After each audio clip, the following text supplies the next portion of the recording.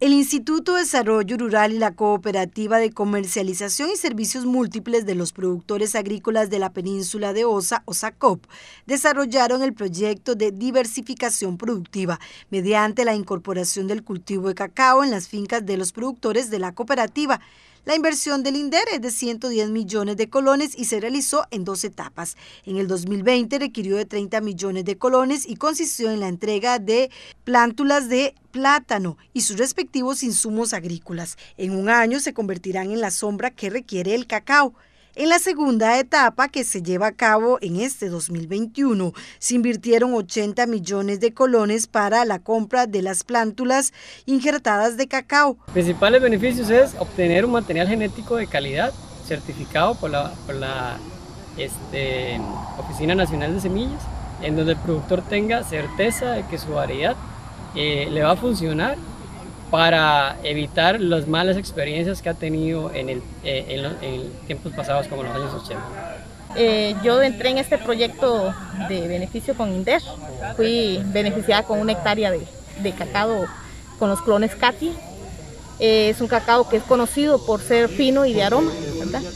Actualmente estoy diversificando una hectárea en mi parcela, donde estoy implementando, bueno, de momento tengo plátano como sombra, poro, vainilla, forestales y frutales.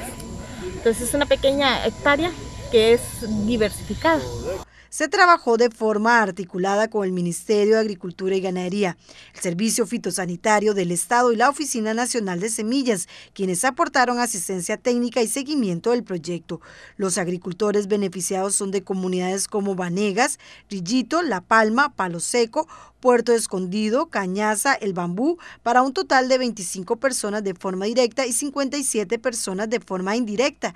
El proyecto es ejecutado por la Oficina Territorial del INDER en OSA, mediante el programa Fomento a la Producción y Seguridad Alimentaria, y se enmarca en el Plan Nacional de Cacao.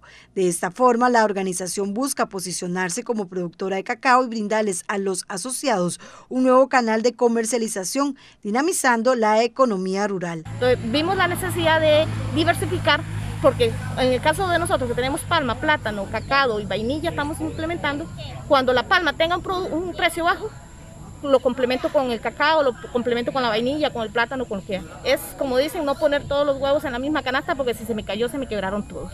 Entonces ahí nace la, la necesidad de diversificar la finca para poder tener eh, entradas de diferentes actividades agrícolas. OSACOP junto al INDER apoya a los productores asociados a la cooperativa con los insumos necesarios, así como dar el seguimiento para asegurar el éxito de las plantaciones.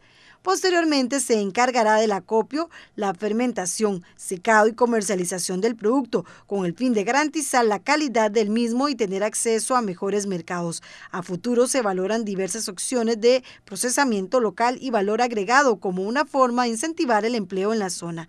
Además, con este proyecto se estaría avanzando con una iniciativa que la cooperativa viene promocionando denominado agroforestería, ya que se estaría completando el cultivo de cacao asociado con árboles maderables como una forma de utilizar más eficientemente la tierra, conservando el suelo e impactando positivamente el ambiente con la captura de carbono. Cabe indicar que esta iniciativa permitirá contar con un total de 25 hectáreas sembradas de cacao para el beneficio de 23 productores asociados a la de los cuales nueve son mujeres jefas de hogar. Este proyecto fue apoyado por el Consejo Territorial de Desarrollo Península de Osa.